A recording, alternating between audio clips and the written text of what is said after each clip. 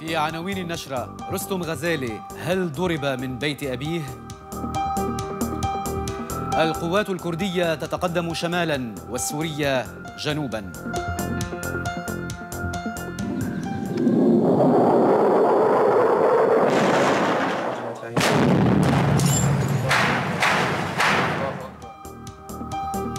باسيل من فنزويلا لداعش. هل تلقى على مجموعات داعش القنابل أو المساعدات؟ في الخاص ماذا بعد شطب القيد الطائفي؟ ولا مرة بتاريخ آه، آه، تحرر العبيد إلا ما كان في ثمن لازم يندفع حرب قضائية بين السلطة والاحتلال كانت هناك بعض الأخطاء. نعم أو الهفوات. المؤبد لمرشد الإخوان واثني عشر قيادياً. بالسجن المؤبد عما أسند إليه. تفاصيل هذه العناوين وغيرها من الأخبار ترقبوها في النشرة بعد قليل.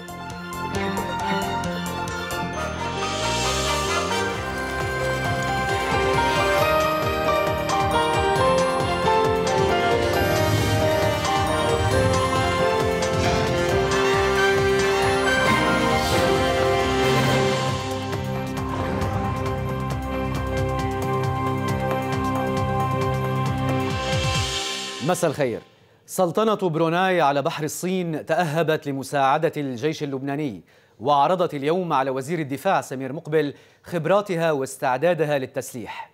بروناي تدب فيها الحماسة من جنوب شرق آسيا والأقربون إلى الإرهاب لم يكونوا أولى بالمعروف. الفرنسيون الطرف الثاني في صفقة السلاح إلى لبنان ما زالت أسلحتهم طائرة من ورق. وإذا ما استعملت عبارات مخففة للكذب فهم على أقل تقدير تأخروا ولم يفرجوا عن السلاح في التوقيت المناسب للمعارك. غير أن عبارة الكذب تنطبق على الدبلوماسية الفرنسية التي تتبع سياسة الوجهين بعدما كشف عن موافقة الخارجية على زيارة البرلمانيين الفرنسيين لسوريا وأن انتقادها لا يخفي استعدادها ضمنا للاستفادة من نتائجها من أجل الاطلاع عن كثب على واقع النظام السوري ومواقف الرئيس السوري بشار الأسد. علما أن أحد أعضاء الوفد هو من حزب الاتحاد من أجل حركة شعبية اليميني المعارض. حزب الله الذي رصد الازدواجية الفرنسية قال عبر رئيس كتلة الوفاء للمقاومة محمد رعد إن الوفود بدأت بالوصول إلى سوريا لإعادة النظر في المواقف السابقة بعدما استشرفت هزيمة المشروع التكفيري. كاشفا عن جهة دولية أفلتت العقال لداعش كي تهاجم الجيش اللبناني فيما دفع الأمريكيون إلى منع تغطية الجيش في مواجهة المسلحين. على الضفة السورية فإن القيادة العسكرية أهدت ستيفان دي مستورا لدى وصوله إلى دمشق تقدما عسكريا يقتطع قرى وتلالا استراتيجية من المسلحين في ريف درعا الشمالي وفي ريف دمشق الغربي. علما أن اتفاق إطلاق النار يجري على حلب التي تأثرت اليوم بتطورات معارك الأرياف في درعا ودمشق. لكن الخبر المزعج أن رستم غزالي لم يكن في صفوف رافعي لواء التحرير في معركة ريف درعا بعدما قاتل فيها إلى حد الإصابة في أثناء تصديه لفلول الإرهابيين. رستم يرقد بلا حراك في المستشفى. غير أن إصابته ليست ناجمة عن قتال ولا عن عبوة وهو لم يرتكب هذه المبادرة في تاريخه. بل إن أقصى المعارك التي خاضها كانت تتوخى الربح من اللبنانيين وعلى حسابهم ومن خزينتهم. والجزء الأكبر منها كان يتولى الرئيس رفيق الحريري تسديده شهريا بشهادة أمين الخزنة عبد اللطيف الشماع. رستم لم يضرب طلقة رصاص في حرب سوريا بل يبدو أنه ضرب من بيت أبيه على أيدي الاستخبارات السورية. وإلى أن يثبت العكس فإن هذا الخبر أصبح الأكثر تداولا في الأوساط السورية واللبنانية العارفة بشؤون سوريا. وإذا مش صحيح فالمنيح لرجل أمن ضرب لبنان بقبضة أمنية في مملكة عنجر. اللواء رستم غزالي بخير. اللواء رستم غزالي أصيب بشظايا قنبلة في قدمه وعينه اليسرى في قريته قرفة في درعا. اللواء رستم غزالي تعرض لضرب مبرح من قبل عناصر تابعة لرئيس جهاز الاستخبارات السورية رفيق شحادة وأدخل إلى المستشفى. كل هذه الفرضيات باتت أخبارا متداولة تحاول اقتناص حقيقة ما جرى مع غزالي.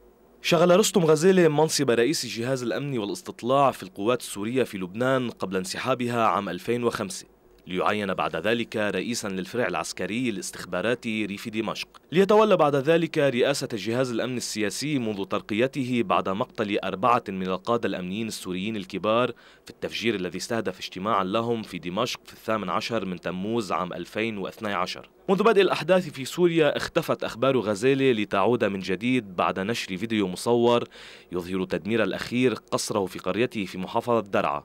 لينشر بعد ذلك فيديو آخر يظهر فيه غزالي نفسه مجتمعا بعدد من العسكريين شرحا سبب تفجير قصره. أنا دمرت بيتي لأفتديكم كلياتنا الفداء أرواحنا عندك أرواحنا إلى أرواحنا عند شعب فداء القرية وأصحاب القرية. العسكري أو الجندي اللي جاي من دير الزور واللي جاي من اللاذقية واللي جاي من طرطوس. عم يقاتل بأقصى جنوب سوريا بقرفة ليدافع عن أهل قرفة من القتل والتشريد والسبي.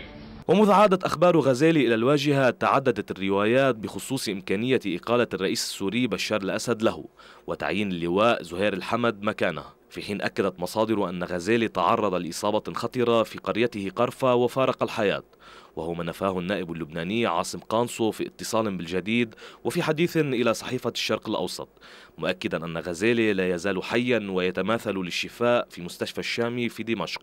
لكن تأكيد قانصو تزامن وأخبارا متضاربة تحدثت عن السبب الحقيقي وراء إصابة غزالي وهو تعرضه لضرب مبرح من قبل عناصر تابعة لرئيس جهاز الاستخبارات العسكرية رفيق شحادة. وجاء ذلك بعد خلاف صاخب بين الرجلين أدى إلى قطع الاتصال بينهما وذلك على خلفية ازدياد شكاوى مسؤولين سوريين من تصرفات غزالي فعاود غزالي الاتصال معلما شحادة بقدومه إلى مكتبه.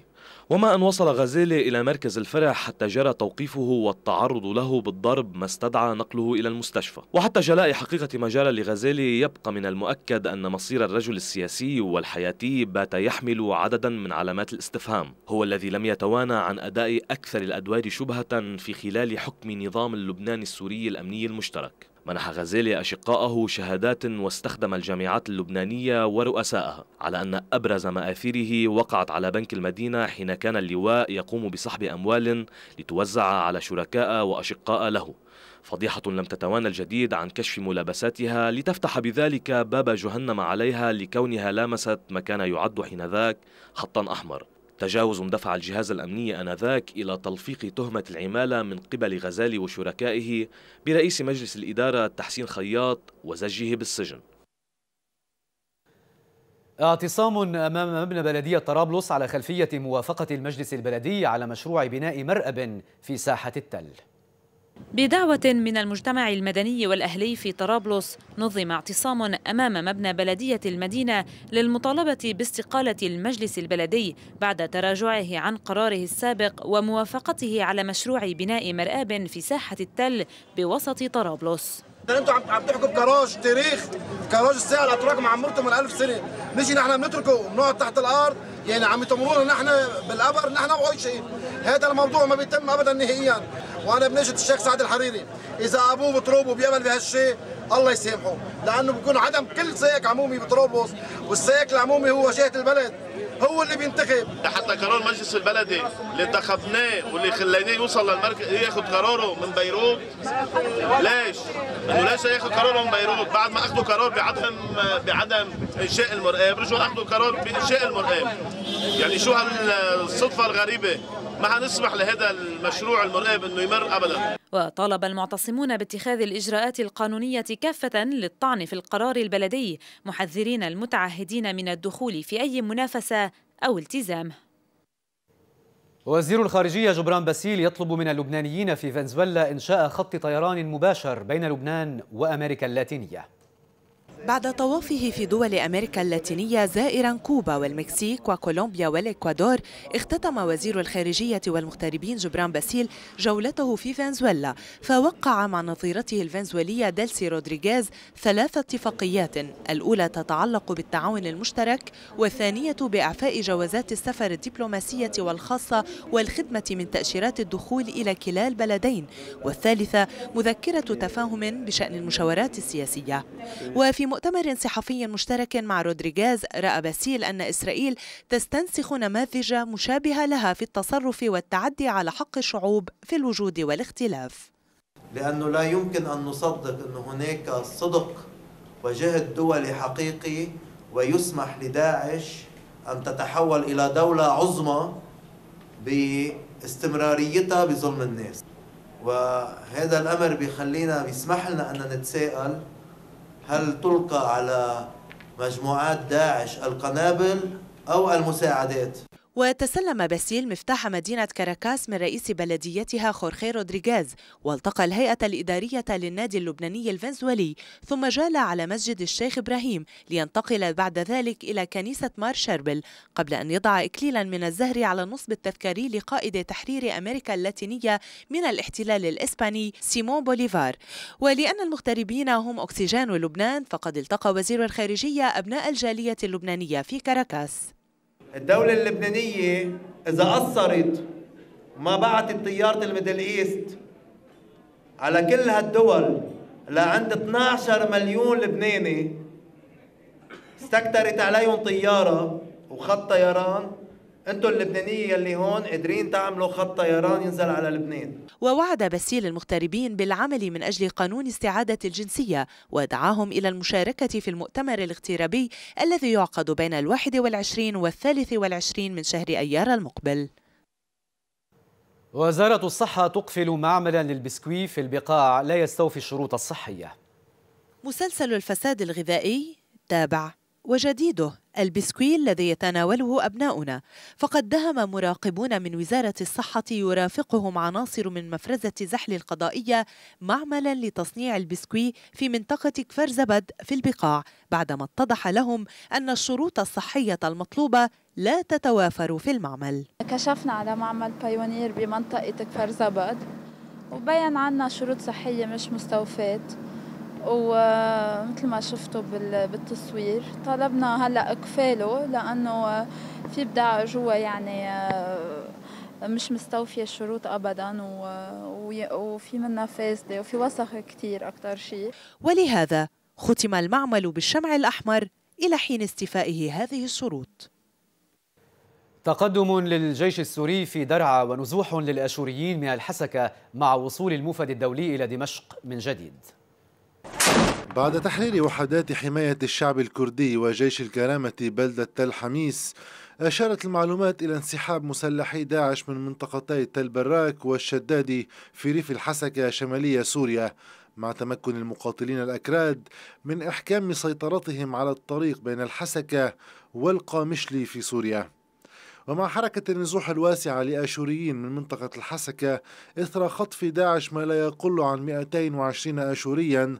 ذكر المرصد السوري لحقوق الإنسان أن التنظيم أحرق عددا من المنازل في القرى التي يسيطر عليها بريف بلدة تل تمر قيادات آشورية أبلغت المرصد السوري لحقوق الإنسان أنها تمكنت من التواصل مع شقيق لأحد قياديي داعش. أبلغهم أنه لم تجري حتى الآن أي عملية إعدام بحق أي من المختطفين. وأبلغهم أن المختطفين هم من أهل الذمة وأن عليهم دفع الجزية وأن محكمة سوف تبت قضية المختطفين مع معلومات عن الإفراج عن عدد منهم بنتيجة المحاكمات الشرعية التي يقيمها التنظيم. وتزامنا مع وصول الموفد الخاص للأمم المتحدة إلى سوريا ستيفن دمستورا في محاولة لإعطاء دفع لمبادرته الخاصة بتجميد القتال في مدينة حلب في شمالي سوريا. استمرت المعارك في مناطق مختلفة أبرزها في ريف حلب حيث قتل 35 معظمهم من حركة حزم المعارضة في معارك مع جبهة النصرة.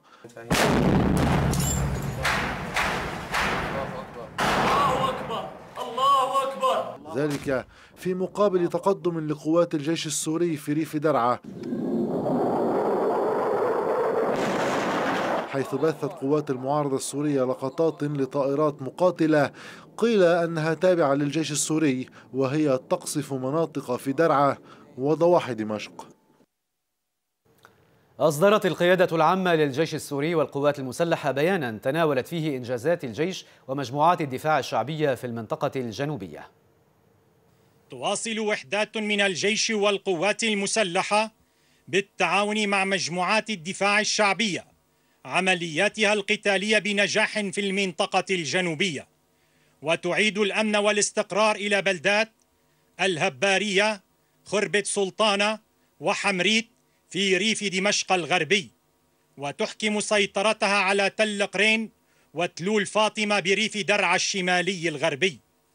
بعد أن قضت على أعداد من إرهابيي جبهة النصرة ودمرت أدوات إجرامهم وما تزال العمليات مستمرة على محاور عدة في المنطقة في ظل حالة من الفوضى والانهيار الكبير في صفوف العصابات الإرهابية. إن هذه النجاحات التي يحققها بواسل قواتنا المسلحة تعد استمرارا للانتصارات التي تحققت مؤخرا. في السيطرة على عدد من البلدات والتلال الاستراتيجية الحاكمة. في أرياف دمشق والقنيطرة ودرعا. وتأتي أهميتها من كونها تضيق الخناق على الإرهابيين في باقي المناطق. وتقطع خطوط إمدادهم وتشكل قاعدة انطلاق لتوسيع العمليات وإنهاء الوجود الإرهابي في المنطقة. العدو الصهيوني استغل القضاء الأمريكي لمعاقبة السلطة الفلسطينية ماليا وسياسيا وابتزازها بالعوائد الضريبية لعدم التوجه للمحاكم الدولية. التفاصيل في تقرير لمراسلنا نزار حبش. كانت هناك بعض الأخطاء نعم أو الهفوات آه، لأنه آه، يعني خطورة الوضع لم يكن واضحا منذ البداية اعتراف في الأخطاء بالتعامل مع المحكمة الأمريكية واستئناف لقرار المحكمة بعد تغيير فريق الدفاع الفلسطيني في نيويورك والإعلان صراحة عدم قدرة الفلسطينيين دفع أي دولار كان ذلك الرد الفلسطيني الرسمي على قرار محكمة أمريكية. دانت السلطة ومنظمة التحرير وطالبتهما بدفع تعويضات تبلغ 218 مليون دولار لعائلات صهيو أمريكية قتل أفراد منها في عمليات فدائية فلسطينية بين عامي 2002 و2004 السلطة والمنظمة لا تمتلك الأموال لدفع مثل هذه الغرامات أو التعويضات. نحن حجب عنا ما يسمى sovereign immunity كدولة ذات سيادة تمتلك الحصانة. هذه هذه قضية خطيرة جدا أه؟ علما بأن كل العالم يعترف بنا كدولة باستثناء بعض الدول بما فيها الولايات المتحدة. ويرى مراقبون فلسطينيون أن قرار المحكمة الأمريكية جاء ابتزازا للفلسطينيين لمنعهم من تقديم دعاوى. بحق قادة العدو الصهيوني في المحاكم الدولية ومحاولة إسرائيلية لاستغلال القضاء الأمريكي لإفلاس السلطة التي وصلت لحافة الهوية الاقتصادية. الموضوع ليس قانونيا آه، بحت ينطوي على آه، أهداف سياسية تهدف إلى تجريم آه، النضال الفلسطيني والمقاومة الفلسطينية والشعب الفلسطيني تهدف إلى التشويه وإن بدت بصورة قانونية. ولم تكتفي حكومة العدو باستغلال القضاء الأمريكي للضغط على الفلسطينيين بل تواصل عقابها الاقتصادي الجماعي. المتمثل باستمرار قرصنة العوائد الضريبية الفلسطينية للشهر الثالث على التوالي والتي تمثل 65% من الفاتورة الشهرية للرواتب الحكومية. الأمر الذي أدى لوقف الرواتب لما يقارب 185 ألف موظف. لا يمكن للسلطة الوطنية الفلسطينية أن تتحمل مصروفات أمنية ومسؤوليات أمنية بل مسؤوليات سلطة كاملة إذا استمرت إسرائيل في سرقة أموالنا بعد أن سرقت أرضنا وماءنا وسماءنا وحريتنا. على المستوى الفلسطيني قررت السلطة المضي قدما في مقاطعتها لمنتجات الاحتلال إذ منعت دخول ستة منتجات إسرائيلية للأسواق الفلسطينية والتي تعد من المنتجات الأكثر استهلاكا. كما أكدت المضي قدما في إعداد الملفات القضائية لتقديمها لمحكمة الجنايات الدولية. الحرب القانونية الفلسطينية الإسرائيلية فتحت على مصراعيها والعدو بدأ يناور بالضرائب والعقوبات الاقتصادية. وأمام ذلك يأمل الفلسطينيون بإسناد عربي ومالي يدعم الموقف رغم علمهم بأن العرب غارقون في خلافاتهم الداخلية. من مدينة رام الله المحتلة نزار حبش قناة الجديد. مؤتمر يستعرض أحوال المرأة في العالم العربي تزامنا مع التطورات السياسية والاجتماعية والأمنية بمشاركة عربية واسعة. لم يأتي الربيع العربي بالربيع الذي أملته الناشطات في العالم العربي. العنف والإرهاب وعسكرة الحياة السياسية كلها أرخت بثقلها على مكون اجتماعي مقصي عن الحياة العامة حتى في أيام السلم.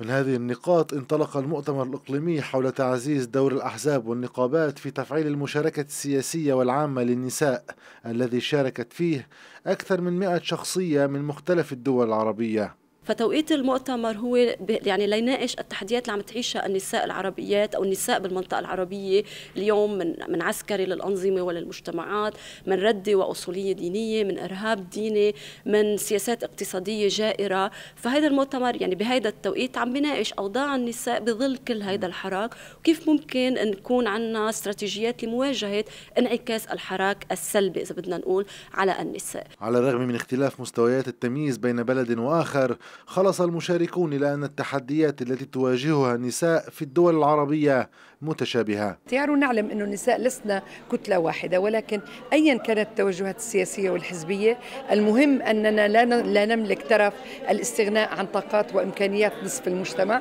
لأن بدون هذه الطاقات لا إمكانية لا لإصلاح ديمقراطي ولا إمكانية لتنمية ولا إمكانية لديمقراطية وبالتالي أنا أعتقد أنه هناك تحدي لا على النساء.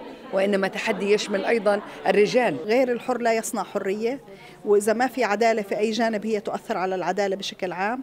وبالتالي اليوم مطالبة الأحزاب السياسية بأنها تراجع أجنداتها تجاه الحركات المختلفة النسوية والعمالية إلى آخره باتجاه أنها تدعم هذه الحركات وأن تجعل أجندة الحركة النسوية ضمن أجندتها كأحزاب سياسية وتدافع عنها. هناك تنامي للتيارات الإسلامية بكل تلاوينها وهذه التيارات هي تحمل مشروعا سياسيا يعني رجعيا وبالأساس هذا استبداد مقابل الاستبداد القائم. ونحن نرفضه كحركة نسائية وكأحزاب ديمقراطية وتقدمية. ونفكر كذلك في إمكانيات يعني تقوية النضال الديمقراطي من أجل بناء مجتمعات ديمقراطية حداثية تتحقق فيها العدالة الاجتماعية والمساواة. المؤتمر اختتم بمجموعة من التوصيات وبعرض وثائقي عن المشاركة النسائية في الأحزاب والنقابات في لبنان. أشوريو لبنان يستصرخون القوى العالمية لمساعدتهم في محنتهم لم ينزلوا الشارع للبكاء ولا للتحسر بل نزلوا ساحة الشهداء ليرفعوا الصوت ويستصرخوا ما تبقى من ضمائر في المحافل الدولية. هم أبناء أحفاد الراهب أشور في لبنان الذين يستهدفهم اليوم تنظيم داعش. فيخطف المئات من أبنائهم ونسائهم وأطفالهم ويستخدمهم دروعا بشرية في المعارك الدائرة ويدمر كنائسهم ويحرقها في قرى الخبور البالغ عددها 34 في سوريا. كفى كفى. نحن نريد أن نبقى على أرضنا نعيش مع إخوتنا من باقي الديانات والمذاهب وكفاكم خوفا وتخويفا للآخرين. لذلك نطلب منكم أن ترفعوا قضيتنا إلى المحافل الدولية تدافع عنها كيما يحق الحق. أين المجتمع الدولي؟ اين أين صوتهم؟ ما هي ردة فعلهم؟ شعبنا يقتل ويتألم ويتعذب. أين المطران أين المخطوفين؟ أين مخطوفي الخابور؟ نشكر كل من تعاطف معنا ولكن نريد فعلا. لسنا أقليات يؤكد أشوريو لبنان. نحن من صلب كنيسة المشرق وسنبقى خميرة هذا الشرق وملحه الذي لا يفسد. في منطقة كفر جوز قضاء النبطي أوقف الأمن العام السوريين علي عبد العواد البالغ 41 عاما وعوض محمد العلي البالغ 19 عاما من منطقة بويطة في سوريا بتهمة الانتماء إلى تنظيم داعش. وقد اعترف الموقوفان في أثناء استجوابهما بأنهما كانا يقاتلان في صفوف التنظيم في سوريا. بحضور عدد من ضباط الجيش الكبار وقادة الوحدات الكبرى والأفواج المستقلة وأعضاء من فرق التدريب الأمريكية والبريطانية العاملة في لبنان نفذت وحدات من مدرسة القوات الخاصة ولواء المشاة الثاني وفوج المدفعية الثاني والقوات الجوية والبحرية يوم أمس مناورة قتالية ليلية بالذخيرة الحية في حقل رماية حنوش حمات بهدف التدرب على القضاء على مجموعة إرهابية متحصنة في أماكن مبنية. وقد تخللت المناورة رمايات بالمدفعية والدبابات والطوافات والأسلحة المتوسطة والخفيفة وفتح ثغر بالمتفجرات. وتأتي هذه المناورة في إطار خطة التدريب النوعي التي وضعتها قيادة الجيش لتأكيد جاهزية الوحدات واستعدادها للتدخل السريع والفاعل في مختلف الظروف القتالية. رحيل الممثل العربي الفلسطيني غسان مطر آخر الممثلين الأشرار. في موسم الشتاء والمطر ومواسم التصحر الفني والثقافي يرحل الممثل الفلسطيني غسان مطر عن 77 عاما. وبغياب مطر يفقد الوسط الفني آخر الممثلين الذين أبدعوا في أدوار الشر وأدوا دور الرجل الشرير أمثال ستيفان روستي وزكي رستم وتوفيق الدقن وعادل أدهم ومحمود المليجي وجوزيف نانو وآخرون. أيام المظاهرات والإضرابات كنت تلاقيني راكب على كتاف واحد وأنا اللي بهتف ويرد ورايا. آه. أثناء المظاهرات. أنت عارفة إحنا فتحنا عينينا في ال 53 كان عندي 13 سنة إيه على صوت جمال عبد الناصر. ارفع رأسك يا أخي العربي. كحركة القوميين العرب أنا بكلمك وأنا منهم. كانت يافا المكان الذي أبصر فيه النور عرفات داوود حسن المطري. الاسم الحقيقي لغسان مطر عام 38 وكان مخيم البداوي في لبنان أرض الصبا والشباب والشتات. لم يتخيل مطر أنه سيؤدي أدوار الشر في عالم التمثيل وهو من عذبه وهجره وقتل أحبته الشر الإسرائيلي. ولكنه سخر هذا الشعور ليكون حافزا لإبداعه الذي بدا واضحا منذ انطلاقته الفعلية في فيلمه المتعة والعذاب للمخرج حسام الدين مصطفى. دخوله عالم الفن والنجومية لم ينسيه قضيته وعروبته ونضاله فقدم عددا من الأفلام في بداية مشواره الفني وكانت تشجع على النضال وحث الشعوب على رفض الاستعمار ورفض الظلم. فقدم عددا من الأفلام التي تعبر عن ذلك ومنها كلنا فدائيون عام 69 والفلسطيني الثائر وهي أول أفلامه ولم يترك نضاله وقضيته.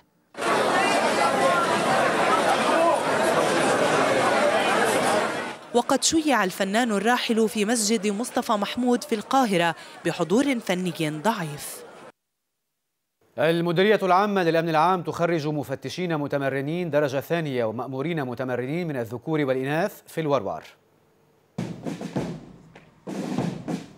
مطلقة اسم الولاء للوطن. على هذه الدورة احتفلت المديرية العامة للأمن العام بتخريج 250 مفتشا متمرنا درجة ثانية و250 مأمورا متمرنا من الذكور والإناث في معهد قوى الأمن الداخلي في ثكنة العقيد الشهيد أسعد ظاهر في الوروار.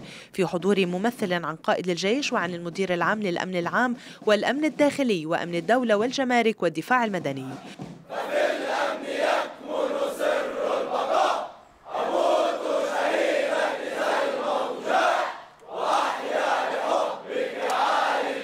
العميد الركن حسن علي أحمد ألقى كلمة المدير العام للأمن العام اللواء عباس إبراهيم.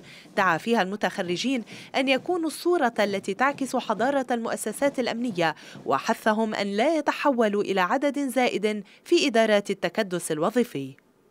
لكن مدرستكم علمتكم الفباء المواجهة السباقة وهي اليوم تضع بين أيديكم تجربة من عمر التصدي لصد المجموعات النافرة المتأهبة دوما لنشر الرعب في ربوعنا. وفيه العيون مرصودة والعابثون في الوطن ليسوا أقلية. يأتون من وراء الظهر من خلف ثلج وستار أبيض ليرسموا بلدا باللون الأسود. العميد أحمد الحجار الذي ألقى كلمة المدير العام لقوى الأمن الداخلي اللواء إبراهيم بصبوس أشار إلى ضرورة تضافر الجهود والتنسيق بين مختلف الأجهزة الأمنية في هذه المرحلة من تاريخ الوطن. وخير مثال على هذا التنسيق العلاقة الوثيقة والدعم المتبادل بين المديرية العامة لقوى الأمن الداخلي والمديرية العامة للأمن العام. فالتعاون بينهما يتجلى في بعض وجوهه في مجال التدريب واحتفالنا اليوم شاهد على ذلك. وفي الختام أقيم العرض العسكري. اعتصام لمربي الدواجن في البقاع تنديدا بتهريب البيض من سوريا. نفذ مربو الدواجن اعتصاما عند طريق زحلب علبك الدولية في منطقة الكرك احتجاجا على عمليات تهريب البيض من سوريا إلى لبنان نتيجة عدم مراقبة الحدود بين البلدين. تدني العملة العملة السورية عم بيؤدي إلى إلى هبوط هبوط هبوط إلى تدني سعر البيض بلبنان. ونحن كلفة البيض عندنا بكلف صندوق البيض 33 دولار 34 دولار. عم نبيعه ب 29 دولار وب 30 دولار. هذا عم بيؤدي لخسارة وبده يوصلنا لمطرح إنه هذا القطاع ينهار. إنه يلجموا عم بفوت على البيض السوري. قام نزلنا سوقنا نحن. خرب بيوتنا. عندنا نحن مزارع عندنا إنتاج. هذا الشيء نزلنا سوقنا. حوالي 7 800 صندوق بيض 1000 صندوق بيض. بيأثروا على السوق المحلي. والبيض بعده بنفس السعر. لا البيض هلا نزل بلش ينزل. كنا عم نبيع ب 40 ب 45 كان المزارع عم بيطلع يعني يوميته عم بيطلع عيشته عم بيطلع حق الفواجر عم بيربيها. تجي بتربي فوج بس بتحط لك 100 200 ألف دولار. بدك بدك سنتين لتلمون وطالب مربو الدواجن أن تضع الدولة اللبنانية حدا لذلك كما طلبوا من الجمارك ضبط عمليات التهريب عند الحدود. بتوجيهات من رئيستها النائبة بهية الحريري وضع وفد من جمعية كشافة لبنان المستقبل إكليلا من الزهر باسم الجمعية أمام النصب التذكاري للشهيد المناضل معروف سعد في محلة البوابة الفوق في صيدا لمناسبة الذكرى السنوية الأربعين لاستشهاده. وقد قرأ الوفد الفاتحة على روح الشهيد سعد وأدوا التحية الكشفية لذكراه بحضور رئيس المكتب التربوي في التنظيم الشعبي الناصري عدنان بلولي. وعضو الأمانة العامة للتنظيم مفوض صيدا والجنوب في جمعية الكشاف العربي عبد القادر لبساط. في مصر أصدرت محكمة الأمور المستعجلة في القاهرة اليوم قرارا يعد حركة حماس منظمة إرهابية بعدما كانت قد أصدرت محكمة أخرى الشهر الماضي قرارا بحظر كتائب عز الدين القسام الجناح العسكري لحماس وإدراجها جماعة إرهابية. إلى ذلك قضت محكمة جنايات القاهرة اليوم بمعاقبة مرشد جماعة الإخوان المسلمين محمد بديع وثلاثة من نوابه وعدد كبير من قيادات الجماعة المحظورة بالسجن المؤبد في قضية تتصل بأعمال عنف وقعت في العاصمة المصرية قبل عامين. وقضت محكمة الجنايات برئاسة المستشار معتز خفاجي بمعاقبة أربعة متهمين بالإعدام شنقا في القضية التي وجهت فيها النيابة إلى المتهمين اتهامات بالقتل والشروع في قتل متظاهرين أمام مقر مكتب الإرشاد التابع للجماعة في المقطم. بالسجن المؤبد عما أسند إليهم ثالثا بإلزامهم جميعا بالمصاريف الجنائية ومصادرة المضبوطات وإحالة الدعوة المدنية إلى المحكمة المدنية المختصة وأبقت الفصل في المصاريف. انتهت الجلسة. في موسكو مقتل أبرز المعارضين الروس بوريس نيمتسوف. قتل بوريس نيمتسوف السياسي الروسي المعارض نائب رئيس مجلس الوزراء سابقا على بعد أمتار من الكرملين في وسط موسكو بأربع رصاصات أصابت ظهره عندما كان يسير على جسر بصحبة سيدة أوكرانية. وفور وقوع الجريمة أغلقت الشرطة الجسر وسارعت سيارة إسعاف إلى المكان وعملت لنقل جثة نيمتسوف وفيما أكدت الداخلية الروسية أن مجهولا أطلق النار قبيل منتصف ليل الجمعة وأصابه في ظهره تستجوب الشرطة السيدة التي كانت بمرافقته. في وقت كشفت الشرطة أن النار أطلقت عليه من سيارة بيضاء فرت من المكان. أما لجنة التحقيق الروسية فأشارت إلى أن الاغتيال جرى التخطيط له بدقة تماما مثل المكان الذي جرت فيه العملية قرب الكرملين. وجاء مقتل نيمتسوف بعد ساعات قليلة من مقابلة إذاعية انتقد فيها سياسات الرئيس فلاديمير بوتين. بالتأكيد تحتاج الدولة إلى إصلاحات سياسية عندما تنحصر السلطة بيد شخص واحد ويحكم هذا الشخص إلى الأبد فيؤدي هذا الأمر إلى كارثة حقيقية. بوتين دان ما سماه القتل الوحشي وقرر وضع التحقيق بإشراف الرئاسة قائلا قد تكون جريمة نفذها قاتل مأجور وقد تكون استفزازا عشية احتجاج كبير للمعارضة. كان من المقرر أن يقوده نيمتسوف في موسكو الأحد للاحتجاج على الحرب في شرقي أوكرانيا. وقد توافد إلى مكان الجريمة مؤيدون لنيمتسوف وزعماء المعارضة ومواطنون حيث وضعوا الأزهار. العقل المدبر وراء الجريمة معروف. هذا اغتيال سياسي لأحد ألمع السياسيين المعارضين. نمتسوف البالغ 55 عاما كان قد شغل منصب النائب الأول لرئيس مجلس الوزراء في عهد الرئيس بوريس يلتسن في نهاية التسعينيات وبعد وصول بوتين إلى السلطة تحول إلى أشرس معارضي الكرملين وسياسة بوتين. فنانون فلسطينيون يلونون الدمار في غزة. من رحم ظلام يولد اللون. هذا ما جسدته غرافيتي بانكسي. عشرة فنانين بادروا إلى تحويل الدمار في غزة إلى لوحات فنية نابضة بالحياة. فرسموا على ما تبقى من جدران منازل الغزيين وحولوا صخور الميناء والكرفانات المخصصة لمن دمرت بيوتهم إلى لوحات فنية. يعني وين الدمار كله هيتو لازم إحنا نكون موجودين ونساعد الشعب الفلسطيني ونوصل رسالة للعالم إنه الشعب الفلسطيني مدمر والاحتلال ما خلاش لا كائن بشري ولا حيوان موجود خطوة تأتي للتخفيف من الآثار النفسية السلبية التي رسمتها الحرب العدوانية الأخيرة على غزة في صدور أهل القطاع. تبرع أحد رجال الأعمال القطريين بالمال لإحدى مؤسسات حركة حماس في قطاع غزة وقد أنفقت الأموال على خمسين شابا وشابة من أجل الزواج ولأن رجل الأعمال لم يحضر الفرحة فقد صمم له مجسم كرتوني التقطت لرئيس الحكومة المستقيلة إسماعيل هنية الصور التذكارية قربه. وفي عودة إلى محلياتنا ماذا بعد شطب القيد الطائفي؟ تقرير رونا حلبي. في أدراج وزارة الداخلية 45 عقد زواج مدني رفض وزير الداخلية نهاد المشنوق إمرارها بذريعة أنها غير قانونية. الأحد في الأول من آذار تخرج مسيرة من شارع بليس نحو مقر وزارة الداخلية بدعوة من الهيئة المدنية لحرية الاختيار تحت شعار حيد يا مشنوق للضغط من أجل تسليم وثائق الزواج المدني المعقود على الأراضي اللبنانية. ولما كان الزواج المدني في لبنان يتطلب شطب القيد الطائفي في بلد يغرق في الطائفية فلا بد من الإضاءة على تبعاته بأحواله الشخصية خاضع للقانون المدني. والمرجع القضائي هو القضاء المدني. على المستوى الإرث بلبنان في قانون مدني. بيأمن المساواة بين المرأة والرجل بمسائل الإرث. نحن بنعرف أنه رح يكون الموظف الفئة الأولى موظف فئة أولى بإرادة سياسية مش بعملية آه، تلقائية.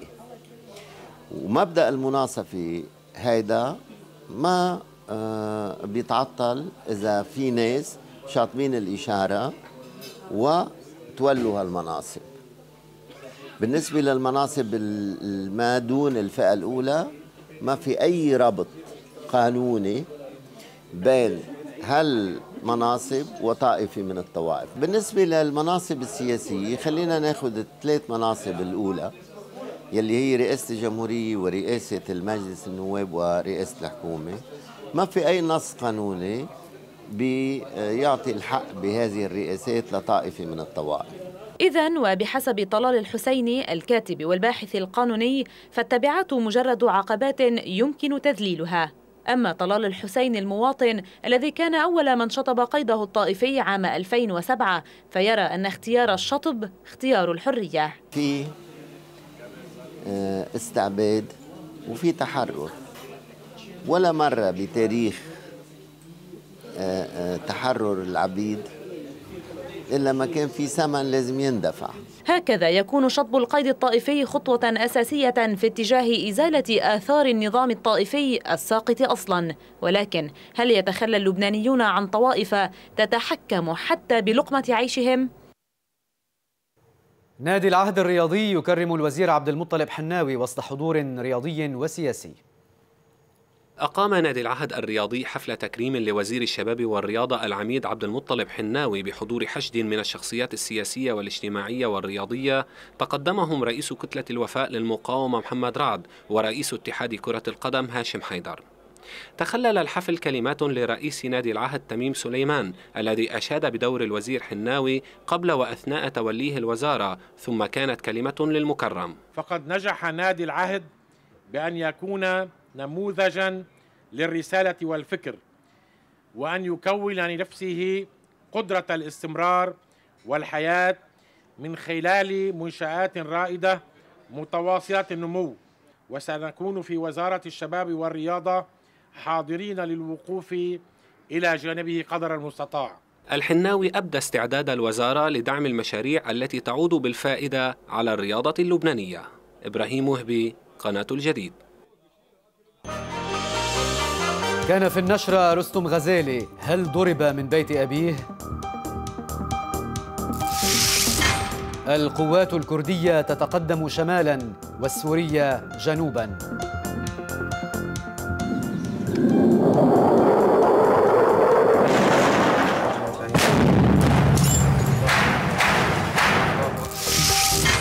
باسيل من فنزويلا لداعش هل تلقى على مجموعات داعش القنابل أو المساعدات؟ كان في الخاص ماذا بعد شطب القيد الطائفي؟ ولا مرة بتاريخ آه، آه، تحرر العبيد إلا ما كان في ثمن لازم يندفع حرب قضائية بين السلطة والاحتلال. كانت هناك بعض الأخطاء نعم أو الهفوات. المؤبد لمرشد الإخوان واثني عشر قيادياً. بالسجن المؤبد عما أسند إليه. في الختام شكرا لحسن المتابعة. الموعد الإخباري المقبل يأتيكم عند الحادية عشرة والنصف من هذه الليلة. فإلى اللقاء.